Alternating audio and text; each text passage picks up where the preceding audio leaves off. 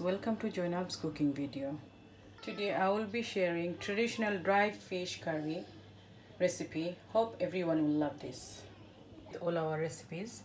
I have cauliflower's head in here. One.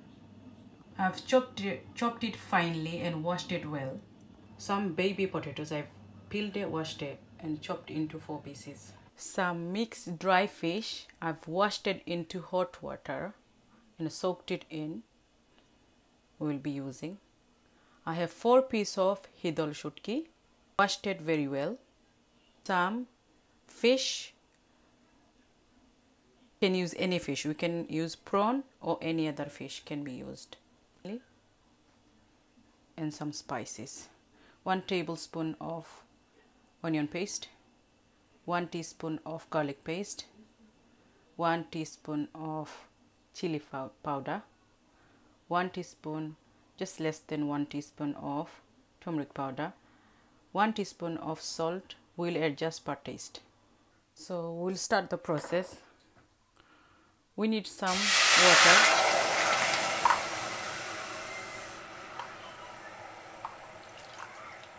One and a half cups of water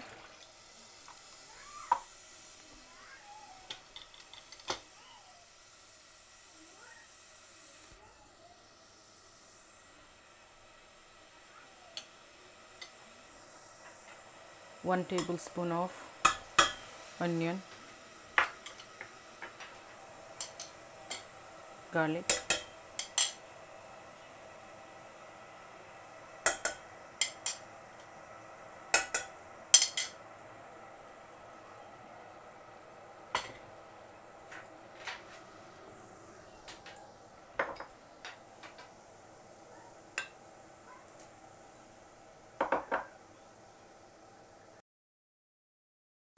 after two minutes of boiling everything spice and shutki together we're gonna add potatoes.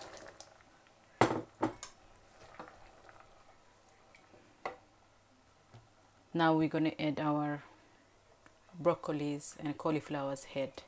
Normally we throw them away but it's we can use them eat them. We don't have to throw it away. It's really nice super yummy shutki we can cook instead of wasting it.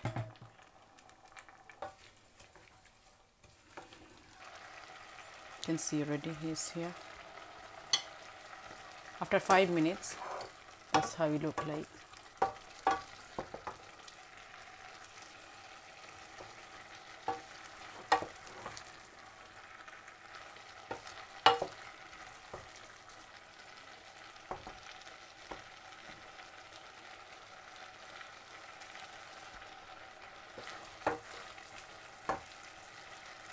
Bedding salt.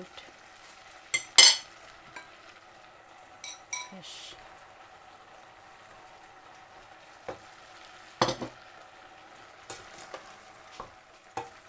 mix everything well. Leave for another two minutes. I'll be adding one more cups of water.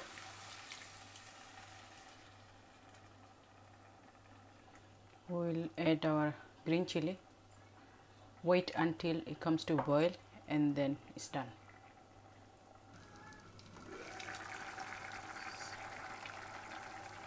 Dear viewers this is my um, dry fish curry. It's all done and it's ready. I'll be showing you on a serving dish later. So this is my dry fish curry. It's so yummy and the smell even i can smell it is coming so wow like you want to eat it. It's very so inviting. So please do try it at home and comment below. Let me know how you find it if you did try with cauliflower head or broccoli head that we normally throw it away. It's very healthy we can eat that. If you do like this video please like comment subscribe share and do pray for me and my family. And thank you so much for watching my channel. Bye bye for now